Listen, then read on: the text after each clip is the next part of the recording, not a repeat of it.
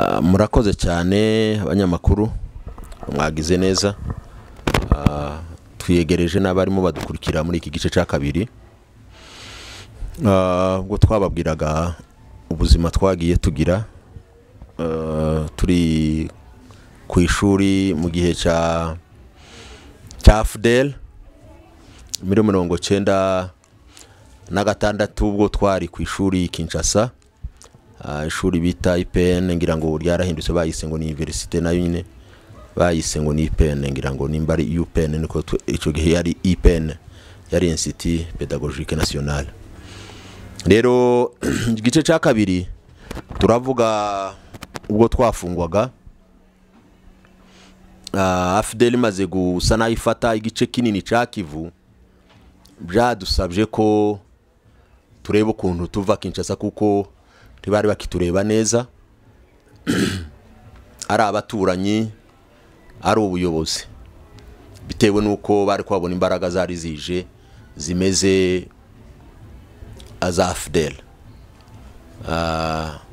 ariyo mwitaga songa mbere ngira ngo yego. Nabwiye ko mbere uko byari bifite ishusho nta bundi bugome bwari buhari. Uretse ikintu cyaje kuzamo cyari ikintu cya mediyatizasiyo cyangwa se iyamamazwa batuvuga nabi. Kandi bagasibura baravugaga bakavuga umunyamurenge. Ko ari bo ba- bateye igihugu ari bo ba- banzi b'igihugu. Nk'uko bahaye babivuga none. Mu by'ukuri nta njyewe ndi mu kubireba nta nta tandukaniro ndi mu kubona yacu. Usibye ko abo dufite none bo batava aho bari. Murambabarira gukoresha iryo jambo kuko nibatwirwaneho abariho none bo bari mu kurwanira mu muhana barimo ntibawuvamo. Nayo icyo gihe ho bari barateye intambwe. Ukumva none ngo bafashe eh, sidi kivu bafashe noru kivu bageze ince za kisangani. Ah, ubwo tuza guhunga ndibuka bari bamaze kutubwira ngo vile ya bukavu iri maboko ya fudele cyangwa se yafashwe na n'abanyamurenge. Twashyize hamwe abayitidiye ko twanganaga. Ndibuka twageraga nko kuri mirongo ine na batanu hari imvukire za sidi kivu hakaba n'imvukire za noru kivu. Murumva ukuntu twari tumeze twese turavuga ngo duhure tuje kureba ambasaderi w'u rwanda kugira ngo adufashe turebe ko twava kinshasa amahoro. Twaragiye turahahurira twari mirongo ine na batanu tubibwira ambasaderi tubimubwiye ambasaderi arabitwemerera aratubwira ati ndeka ngerageze ngiye gushaka mu bushobozi mfite bwa bwa ambasade mbashakire indege hanyuma mbahe n'ibyangombwa bizatuma mutambuka. Nk'ibibutsa aho ngaho twari dufite ah, ibyangombwa bya- by'abazayirwa kugira ngo mwumve ibyo ari byo. Twari dufite le carte pour citoyen ah, ni na yo twagenderagaho nta pasiporo twari gukoresha turi mu gihugu kandi mu by'ukuri twumvaga c'est notre droit bwari uburenganzira bwacu. N'uyu munsi wa none ndabigarukaho n'uburenganzira bwacu. Ariko kuba ngo tuje mu rwanda ntabwo twari kugendaga nk'abazayirwa. Byadusabaga ko tugenda nka nk'abanyarwanda batashe mu rwanda. Ni n'izo negosiyasiyo twari ko dukora ari abo bavu ari izo mvukire nababwiye zo muri noru kivu ari izo mvukire zo muri sidi kivu twese nta wari ufite ubwenegihugu bw'u rwanda. Noneho tuza kubinegosiya ambasaderi kugira ngo adufashe. Biba bitwemerera bitwemereye rero bwarakeye turasa turahahurira n'ibikapu byacu twese. Aragiye akatisha indege buri wese amushakira biye y'indege ye. Yewe n'imi- n'imizigo twari dufite ibikapu. Twaraharaye ngo buce twurira atwuriza imodoka. Yadushakiye amabisi abiri niyo yatujanye. Amabisi atugeza ku kibuga cy'indege ahitwa injili. Kuvaho igombaho ambasade y'u rwanda ikorera injili ni ibirometero mirongo itandatu. Hari harehare tugezeyo araduherekeza ntabwo yaretse tugenda twenyine ngo tugereyo baraturetse turinjiye. Yewe imizigo tura turayipimisha nka kurya muza umuntu abantu bose bapimisha imizigo bahe binjira mu ndege. Dupimisha ya mizigo turangije gupimisha imizigo baratureka turinjira tuja muri sale baza bita ngo ni sale d'attente aho bategerereza indege. Tukihagera bahita babwira ambasaderi ngo ntabwo aba betidiya bagenda ambasaderi agifite uburyo bwo kuza ngo adusange harya atubwire ikibazo. Nza nibuka yahagaze kuko ameza kari gahari ahamagaramo abashefu babiri bari baturimo abo twari twatoye no shefu. Ara- arababwira aratubwira ngo mugize ikibazo. Banze ko mugenda kandi ko ndasaba ngo nibareke mbasubize muri ambasade bananiye. Nico ngihaye negosiyo negosiyasiyo zinaniranye.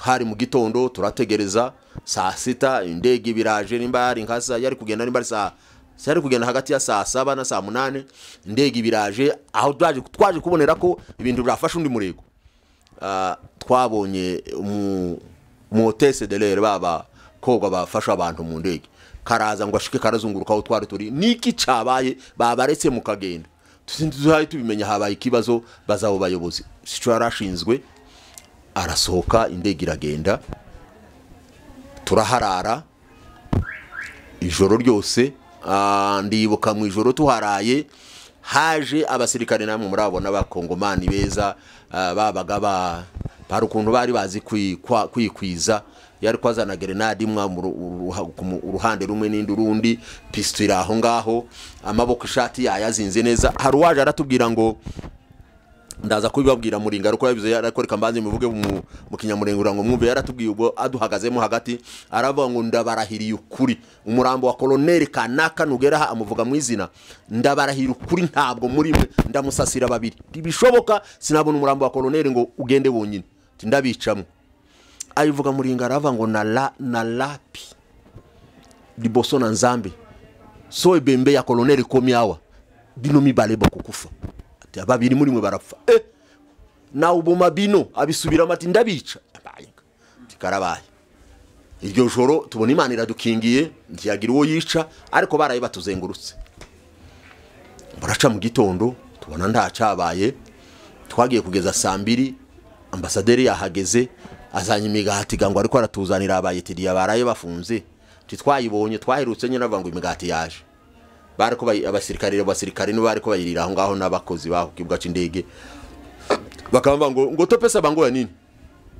Ndani umwe umwe yaratubwiye ngo ngo dore amaso yabo kwasa ngo aya bacu ba- ngo abantu bacu ngo mwayanogoyemo ngo none ko muraturebesha amaso yanyu. Yacitse no kuri.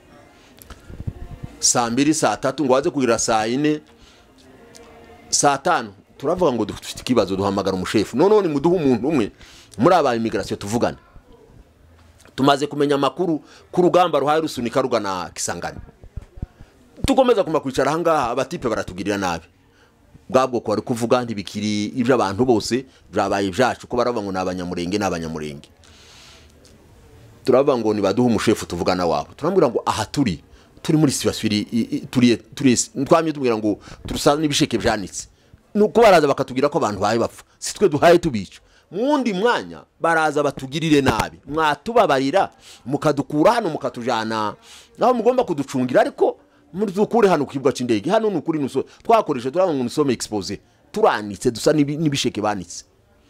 Atokeye ati turabyumvise. Haragenda arahegerera. Mu mwanya ati barya abashefu bari hehe turababahaye baterura aba bashefu. "Mm, naho twabaherukiye. Twasiye guhura tuvuye muri kasho ndaza kuvugaho uko byagenze. Noneho barabajanye twe turasigaye harya saa kenda saa kumi saa kumi n'imwe burije kandi nimugoroba. Ijoro ribaye irya kabiri.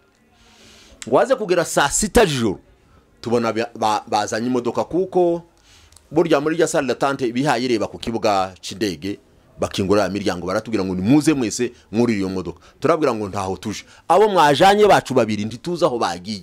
Kugeza ubu ntiduhaye tumenya aho bari. Natwe mugiye kutujana saa sita z'ijoro.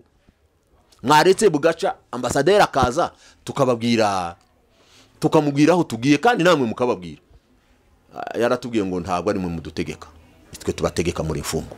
Iryo jambo yakoresheje uwo munsi aravuga ngo si mwe muntegeka nje ubategeka muri imfungu. Ale bokota. Niko yavuze nimwinjire. Badushize mu mu kiboko barakubise tururiye ka kamodoka. Tururiye ka kamodoka. Imodoka zawe bazita ngo ni furafura. Twari ko twicara. Ukicara gutyo ureba hano imbere undi akicara inyuma inyuma yawe areba inyuma. Twari mirongo ine dusigarayo turi mirongo ine na batatu. Batatu babiri bari babajanye batwurije muri ya ka kamodoka. Si ugupakira se? Nk'abapakira ah, nariza abagore iwacu ntibari bazi gutekera ifu. Bagize bamara kuyishyiramo akazashingamo umwuka agatsindagira niko bari ko batugira uwo munsi. Baradutsindagiye tukagiyemo. Ngo tumare kwicaramo kari kamwe ntabwo twagiye muri ziberi kamwe niko twabye twicara mu iyo furafura bamaze kuyidushiramo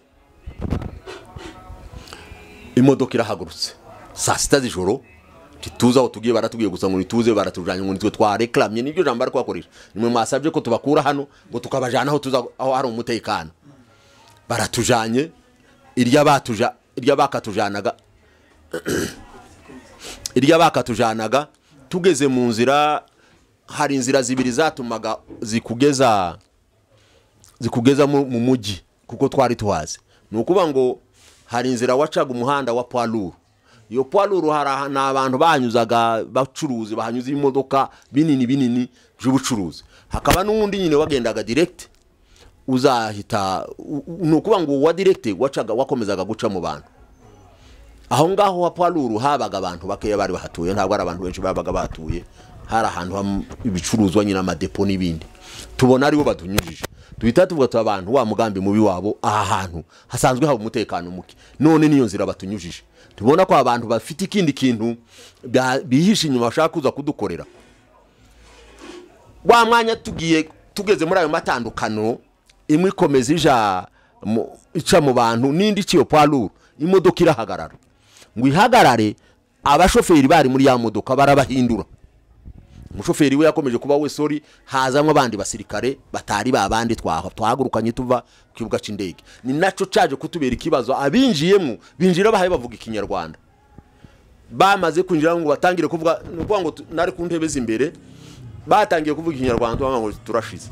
Niba abatipe baduhaye abanyarwanda n'iza nterahamwe baduhaye zamaze abantu mu rwanda baje kudutemagura batwica. Dusa n'abagize agasaku ndetse mu modoka turasakuza ngo dusakuze turakomeza dusakuze ntibikunda mureke dukore ibyo tugomba gukora. Twari gukora ibikisi imodoka agakwira agenda mu mwanya nari nicaranye na muhungu wo muri Kivu yitwaga Jean Marie naje kwibuka izina rye yitwaga Jean Marie. Duhamwirije Jean Marie uko uko urabona ko muri iyi- modoka dufite ubuzima? Ntugupfaga turapfuye. Turakomeza twicara ahangaha n'uwagendaga hanze byibura ukanapfa niko nambwiye ndi nzira kundi muntu ankoraho umuntu twame tugenda dutega amajosi baze batema bahirimbure bateme. Nkurebe gutyo mbwira shoferi shoferi ngiye kuva muri iyi modoka yawe. Namubwiye mu kirimi ciringana reka ngisubiremo. Narambwiye ngo nakati namutuka na yo nazana bomoite. Libanda pe nazana bomoite. Ni ukuvuga ngo mu modoka yawe nta buzima mfite. No hanze nubwo ari ntabwo ariko namwe tika ngana kende reka ngende nze kugwa hanze niyo kugwa mu modoka yawe. Shoferi arambwira ngo aho imodoka igeze. Ko barambwira ngo ninongere umuriro mugani wabo nongeremo uh, ubwikwihuta. Urushinge rugeze kuri mirongo inani niko yambwiye. Nta kuntu napfa guhagarara. Namuye niko na sinasuye kumuvugisha irya kabiri namye nurira hano mu bitugu bye nari ku muryango abatwarira iburyo murabyumva ubundi umushoferi ni uko nari nsohotse uko nasohokeye hagati mu ibarabara. Namye nurira hari umushoferi ari ndarenguka sinamenye nimba nara- nimba narase ariko ntekereza na- nasa nashoboye nk'umuntu uguruka ndya kurya ngurutse yamye avuze induru ngo umuntu arapfuye umuntu arapfuye mutakufi mutakufi mutakufi. Aragenda imodoka ahagaze wenda nka imetero nka cumi kugira ngo ahagarike imodoka bagaruke baze kureba uwasigaye uwo ari we. Bagarutse basanga ndi harya. Burya nagiye kwika hasi abacu nabo bahita ba- bakubita umuryango. Bari kuburiraga abasirikare bari kuko nta inzira yindi bari badufungiranye kwari ugusubira hejuru ya ya ya, ya abicarana na shoferi.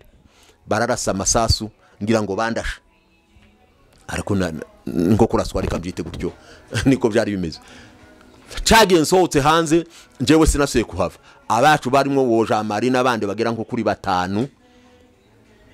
Batanu bane. Nibo basohotse. Basohotse rero twarakom njyewe nahise nsigara indi modoka iraza baje kunshira muri voiture sinasuye kugenda muri ya modoka abacu baradukozeho twese baradushoreye ah, batugeza noneho harya barya basimbutse bacu. Bakoze ikintu cyiza cyane bo abageze hanze. Bari bazi nimero z'aba bagabo bari ba- banyamasisi bari batuye Kinshasa bakomeye bishoboye barabahamagara.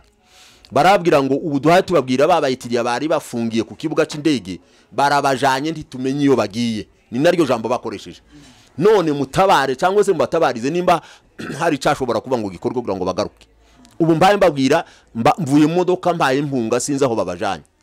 Agihamagara baje kutubwira duhuye bari abari ko bagenda. Bahise bahamagara premier ministre. Kengo wa dondo ni wari uhari ico gihe ni wari uyoboye nka premier ministre. Ngo abazo rya immigration wa immigration ati "Mm, bari ku kibuga c'indege ninde wabajanye?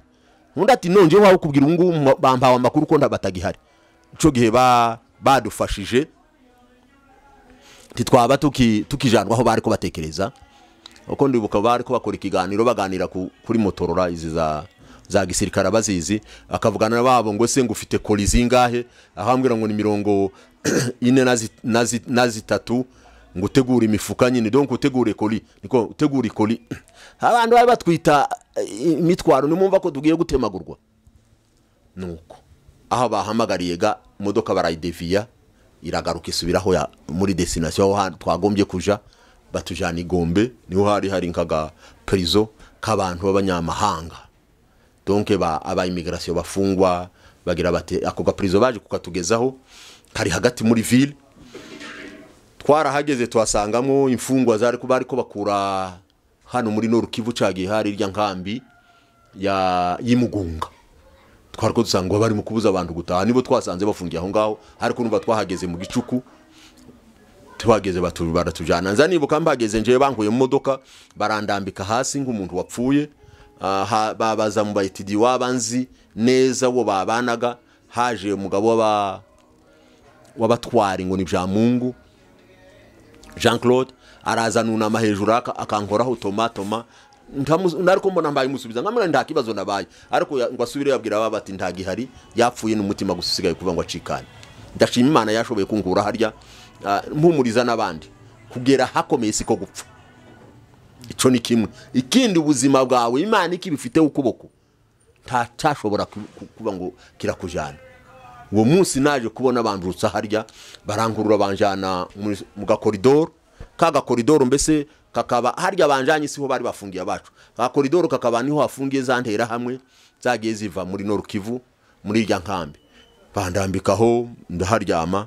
Ah, reka nibuke mvuga aka kantu kataza kuncika wenda nzana kuzagana ku musozo. Hagere saa kenda. Mbasabe namwe nubwo muhaye mu banyamakuru turi kumwe hano n'abandi bazanumva. Umuntu azagira umwanya wo kwiherera n'imana. Nagiraga akamenyero labitide ya saa kenda narabyukaga ngasenga. Ndanibuka ku ishuri niko nabikoraga. Ni ukuvuga ngo saa kenda zarageraga niyo naba naryamye nakereje. Cyangwa se nkakaba iyo nageraga na yo masaha ntaranaryama kuko urumva umunyeshuri. Nafataga umwanya mutoya cyane. Ngasohoka inyuma ya muri veranda y'aho twaryamaga mu cyumba cyacu kuko idirisha ryabaga riri gufi cyane umuntu akaryuriraho agasohoka hanze akahagarara kuko twaranahatekeraga defuwa ngasenga. Abayitidiya bo twabanaga benshi bari banzi icyo kintu. Yari isaha na- nasohokaga ngasenga. Yasanga igere harya bandambise hasi ibitotsi birashira. Rero umuntu ariko numva reka mvuge ngo kwari ugukira nahise mbambaduka ngo mbambaduke ndatangiye ndikorakoye se bandashe ca gihe byagenze gute? Ko mbaye numva ndi muzima niki cabaye?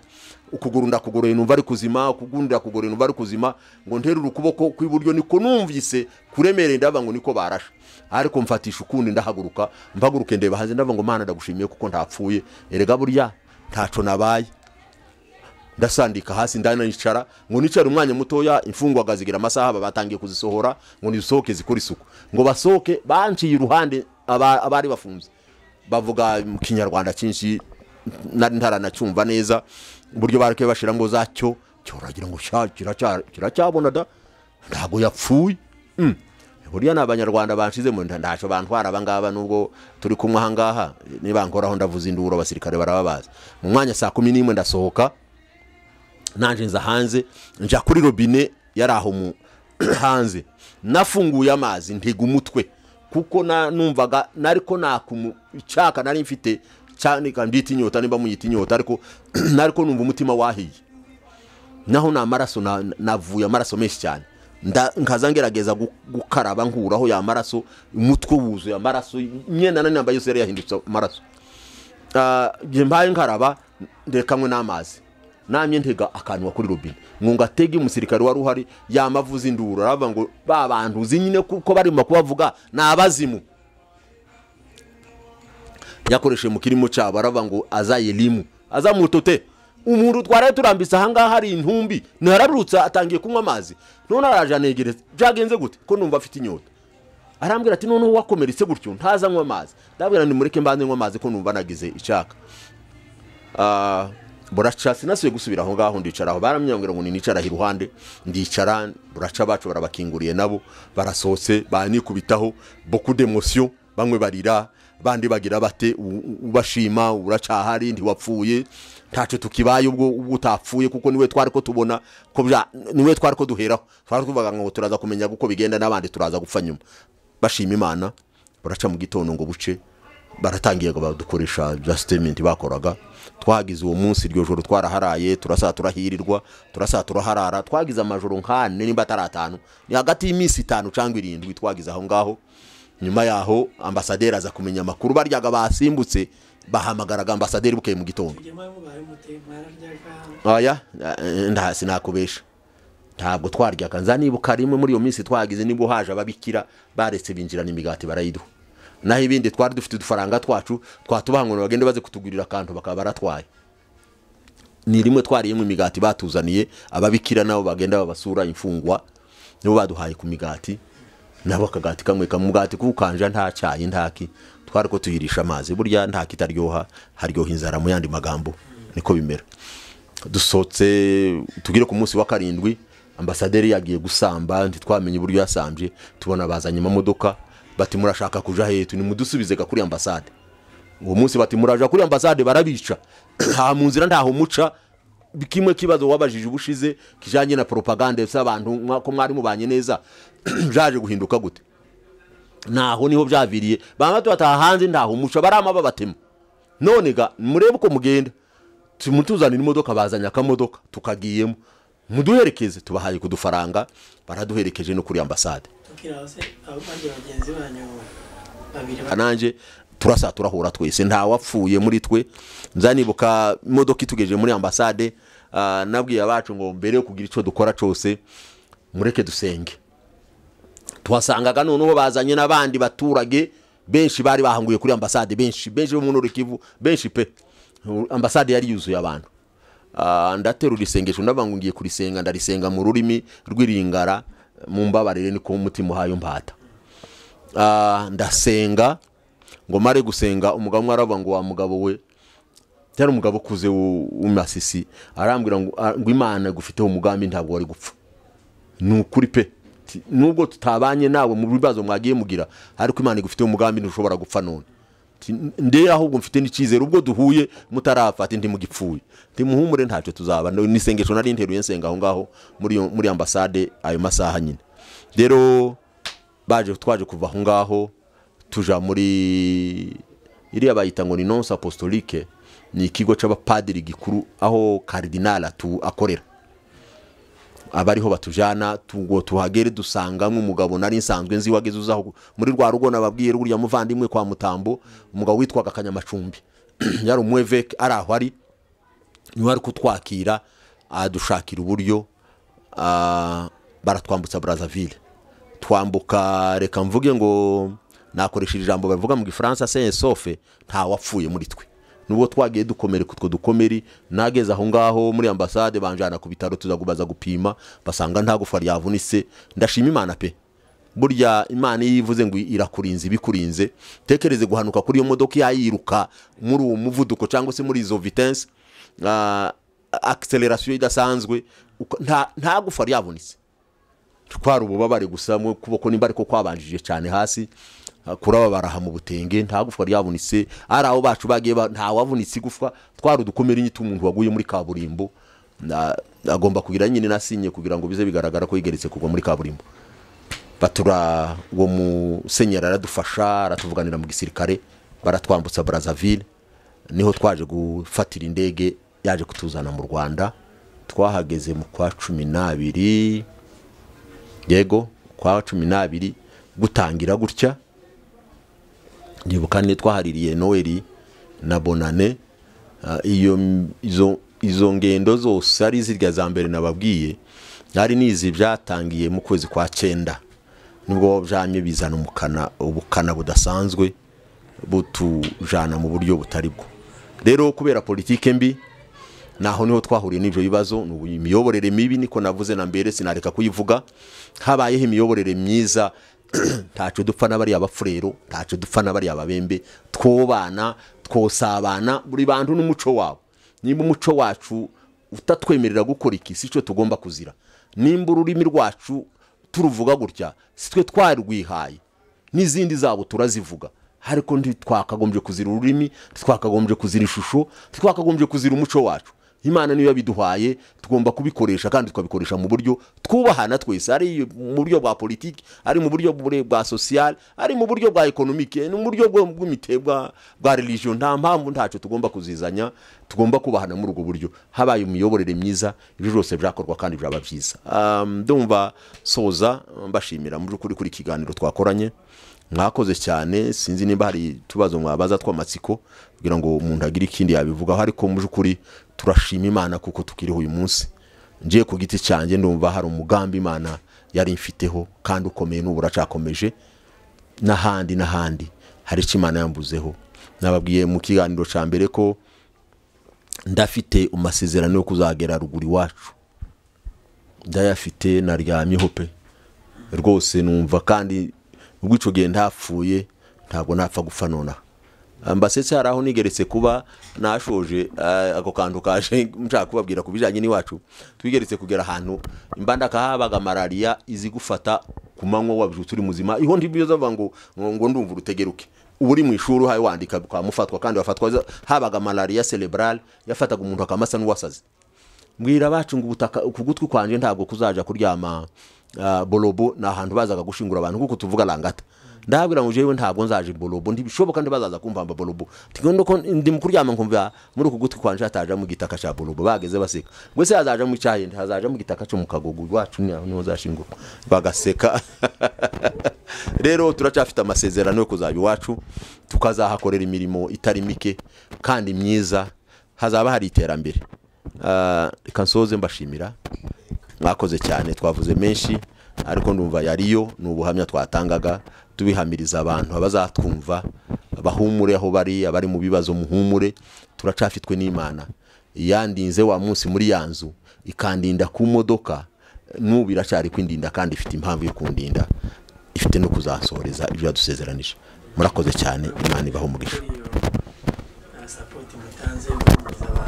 Icyizere eh, ndetse n'amateka mugiye musangiza abantu. Hari icyo abubakaho cyane. Mu bijyanye n'ubu buzima turimo eh, busa n'ubugoranye cyangwa se eh, busa nk'aho ah, abanyamurenge bahagurukiwe eh, mu bundi rero turizera ko wenda twanasoreza aha ngaha ah, tukagira ngo tubasabe ko mu gihe icyo ari cyo cyose twabifuza ah, mwajya muduha ibiganiro nk'ibi ngibi kuko hari icyo bifasha mu buryo bumwe cyangwa se ubundi. Murakoze cyane nta reka mvuge ngo ndi disponible. Igihe cyose mwadushaka mwatubona. Ejo mwatubaza ibyo tuzaba dufiteho ubumenyi runaka. Twabiba ntabwo tutabisangiza abandi. Nubwira ngo byibura tubane nyine muri ubwo buryo. Hari abana batabizi hari abatazi ibyo byabaye hari abagiye bakurira mu rwanda mu burundi hari abari no hanze ku yindi migabane ibi batazi. Nayo mpamvu ya cyane tunabashimira cyane ibintu mwagiye mukora. Ah, Stone TV mukora ibintu byiza nje nshima. Kandi muri kuri nanakomeza kubashimira. Muzakomeze hari ikintu gifasha abantu. Twaza dukangurira bene wacu twaza dukangurira abana bacu urubyiruko. Nk'abana bahe bakurira hano Nairobi kumubwira ikintu kijanye n'iwacu harimo kwama yumva ari nko kumu- nko kumujugunya mu nyanja. Ariko ni byiza iyo bagenda bumva ibi bintu birabafasha defwa biranabubaka. Bakubwira ngo ese ngo ko twumva gusa twara muri ese oya twari twagiye tujagajaga ariya kongo tuka umu- umuntu yageze ava mu minembwe ku runundu akamaje lumbashi aho se na nyina bategeretse kuba? Nkava mu kagongo nkaja imbandaka data sogokuru na sogokuruza ntawahatekereje. Ariko twahagera tukisanga. Ariko kubera ya miyoborere mibi twagize iza kuduteranya n'aba- na- na- na- n'abava n'inshuti n'abaturanyi n'abantu twabanye. Ni imiyoborere mibi muze mujumva n'uzanabikubaza uzavuge ngo habaye imiyoborere mibi niyo yatumye tugera kuri uru rwego. Ariko ubundi mu by'ukuri nkumvayaje twageze utekereze kuvuga ngo mvuye mu kagogo carte pour citoyen yonyine gusa. Ngagenda ngurira indege ngasa ngurira iyindi ngurira bato ikagenda. Burya nababwiye ngo navuye kuri goma navuye goma ni ho nafashe indege ngera kisangani. Ngo tuve kisangani twafashe bato kuva kisangani itugeza mbandaka. Twagize amayinga abiri 14 jours mu mazi. Nta data wari warahaciye nta sogokuru wahaciye nta mugunga wigereza haca cyangwa se umuhanga wundi tuba ngo ni kanaka. Ngo tugereyo baratwakira n'ibyishimo byinshi bakadufata nk'abantu nyine bafite agaciro. Ariko nyine kubera imiyoborere mibi yaje kuza rero yanabayeho itateganywa yatumye haza urwango mu bantu. Bantu turasenyana biracika ubu ni ukugenda ahantu mbaye nikanga uretse naho nari kumvuga ayo maprovince yandi izo rejo twavugaga za kera za mubutu. Ubu ngubu no kuva kuva gusa ngo uve uve iwacu ugere uvira ni ukugenda umutima uhawuterera mu gihurihuri uti ndapfa ndapfa ndapfa. Ariko icyo gihe ni ukuri nta na kibazo cahabaga. Ngira ngo ni imiyoborere mibi muze mwihangana mubwire n'abandi baze babyumva. Twagize imiyoborere mibi niyo yatuzaniye ibi byose. Tugize imiyoborere myiza tuzasaba twisanzure kandi tugere aho tugomba kugera mu buryo bukwiye. Mwakoze cyane turabashimiye. Sawa. Ubu rero ni bishop twari kumwe muri two stone tv tukaba tumuhaye pole ku bibazo byose yahuye ndetse tukaba tugiye n'inshuti n'abavandimwe bari hirya no hino. Ibibazo bisa n'ibi